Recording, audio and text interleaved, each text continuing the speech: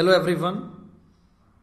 So in this lecture we are going to discuss about important commands which can be used to administrator your Linux box. So the command which we are going to understand that is pwd it's a very important command that is print working directory. It shows the directory you are currently in. While doing the administration part in Linux many times you know we have to travel from one location to another location. We know that a linux structure it is a hierarchical structure it always start with slash and different different directories are there. So many times we are not aware that we are currently residing on which location. So we always prefer this command that is pwd command which tells you where you are currently in. So i'm just going to log into my linux box and we'll show you how we can use this command. So I'm just logged in here. So you can see that I'm in this location here but I don't know what is my current location. So I can simply fire pwd command. It will tell me that you are in slash var slash log. So this is a directory where I'm currently in. And if I want to change my location. I always use this command cd. cd is for change directory. And after that I can give any location. If I'm giving slash temp so my location has been changed now. If I want to see again I can fire pwd command.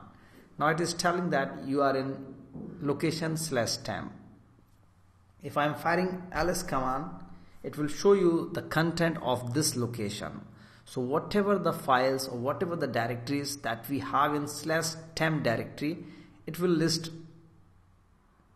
Okay. And if I am again going to this location var log, and if I am firing this ls command so it will list you the content of this directory. So whatever we have in this directory it will list out with this command ls command. And if I am in this location if I am firing ls command it will list out you the contents of this location. Clear command is to clear out the screen. So we have just learned two commands that is pwd and cd command also we have learned. Clear command we have learned. Okay so next is your ls ls also we have learned. So ls tell you whatever the contents we have in this location it will list out you. So i've just fired pwd i'm giving clear. Now i'm going into this. Again ls command.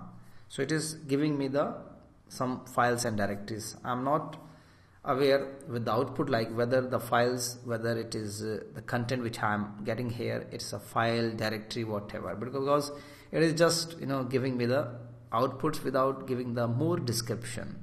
If you want to get the detail about the content you have to add some option with the ls command. So you have to use l. So if I am using hyphen l l is for long listing. You can see that the output has been little bit changed let me expand it. Clear. Again I am firing the same command. Now you can see the output is coming in more descriptive format. Here you can see that this is my directory because it always starts with D. If it is starting with D it means it's a directory. If it is start with single dash I'm going to create a directory. I'm going to create a file here. Touch test.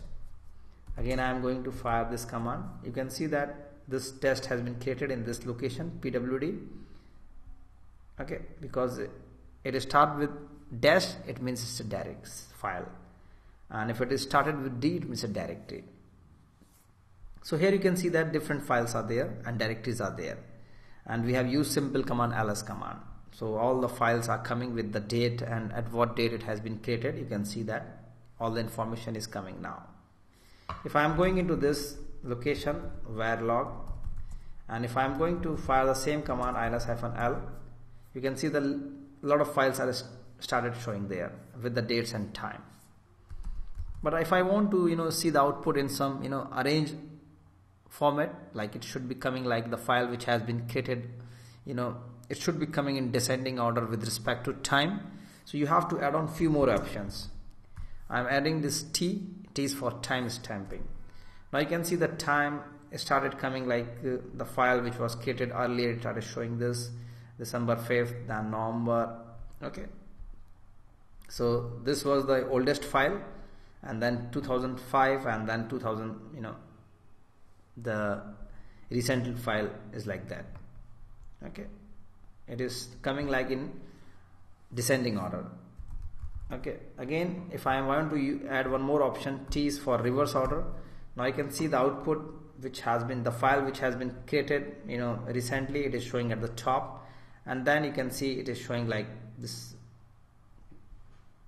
date wise you can see that. Okay.